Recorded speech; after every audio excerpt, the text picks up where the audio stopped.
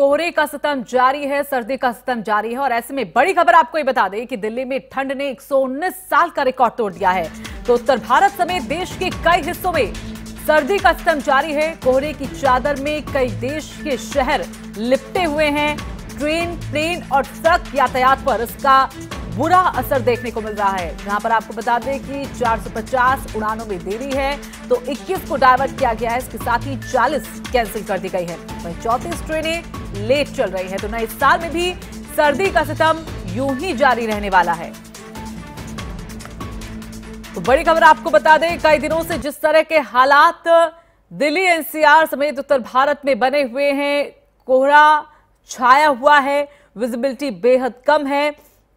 Heart कपा देने वाली जिस तरह की ठंड पड़ रही है, उससे बचने के लिए अभी और इंतज़ार लोगों को करना पड़ेगा, क्योंकि जिस तरह से जनजीवन पूरी तरीके से अस्त व्यस्त सर्दी ने कर दी है, उसके चलते फ़िलहाल लोगों को राहत अभी नहीं मिलने वाली है। लोग तमाम तरह के उपाय यहाँ पर कर रहे हैं, अपने आप को बचाने के लिए, लेकिन उसके बावजूद भी राहत दूर दूर तक नहीं। और ऐसे में आपको बता दें कि असर इसका यातायात पर भी पड़ने को मिल रहा है, जहाँ पर 450 उड़ानें देरी से चल रही है। चाहे हवाई यातायात की बात करें या फिर ट्रेन की बात करें तो हर तरीके से यातायात पर इसका खासा असर देखने को मिल रहा है। चौंतीस ट्रेनें जो देरी से चल रही है, और अब तक आपको बता दें कि उड़ानें 40 उड़ानें रद्द कर दी गई हैं, और 21 उड़ानों को डाइवर्ट किया गया है।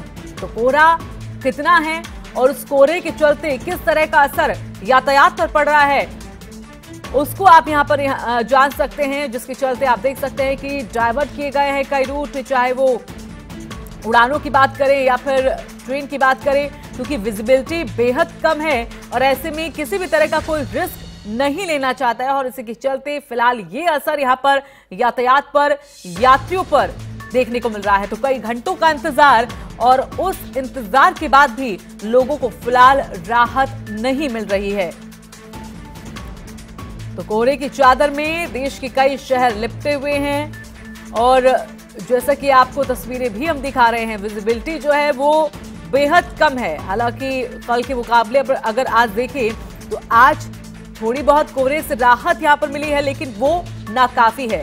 कल सोमवार को कोहरा इस कदर था कि विजिबिलिटी बेहद कम, जिसके बाद एकाएक करके हमने देखी कि हादसे की खबरें लगातार वहाँ से सामने आ रही थी। और ऐसे में आज कोहरा इतना नहीं है, लेकिन इसके बावजूद ठंड का जो सितम है, वो लगातार जारी है। हाथ कपा देने वाली ये सर्द हवाएँ जो लोगों के लिए मुश्किलें कम नहीं कर रही है। तो पहाड़ों में जिस तरह से बर्फबारी हो रही है, उसका सीधा असर मैदानी इलाकों में शीतलहर यहाँ पर चल रही है। और ऐसे में मौसम विभाग का कहना है कि नए साल के मौके पर बारिश हो सकती है और इस बारिश के बाद हो सकता है कि जो हालात हैं, वो और ज़्यादा बिगड़ जाएँ।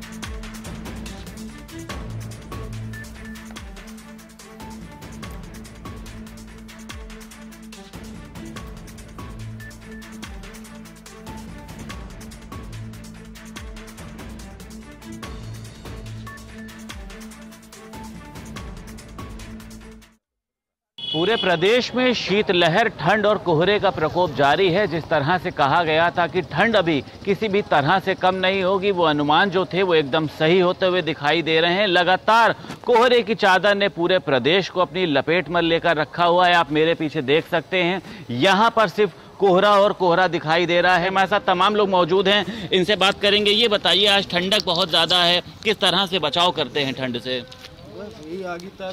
अभी आगे ताप के यही कहीं पर भी हमको जहाँ पे दिखता है कूड़ा है वहीं पे हम लोग आग लगाते तो हैं। लकड़ी की किसी तरह की व्यवस्था की गई है? नहीं। अलाव की किसी तरह से व्यवस्था नहीं करी गई है व्यवस्था कोई व्यवस्था नहीं कोई व्यवस्था नहीं है लाव की अच्छा चलिए भैया आपसे बात करेंगे क्या कहेंगे? ठंडक आज बहुत ज़्यादा पड़ रही है लगातार पूरे प्रदेश में कह सकते हैं कोहरा पड़ रहा है क्या कहेंगे? कोहरा बहुत पड़ रहा है पूरे प्रदेश में बहुत ठंडक हो रही है लकड़ी व्यवस्था है ही नहीं। सब लोग ये बटोर बटोर के जला रहे हैं। भैया से बात करेंगे भैया की चाय की दुकान है और आप देख सकते हैं भैया यहाँ पे अदरक वाली चाय भी बना रहे हैं उन सभी तमाम लोगों के लिए जो ठंड से बचने के लिए यहाँ पर पहुँचे हैं। ये बताइए भैया ठंडक बहुत ज़्यादा पड़ रही है तो कितने कस्टमर आपके पास आ रहे हैं चाय पीने के लिए? जी इधर देख के बोलिए। खड़े हैं जी। बहुत ठंड है। इस समय सरकार की तरफ़ से कुछ नहीं है।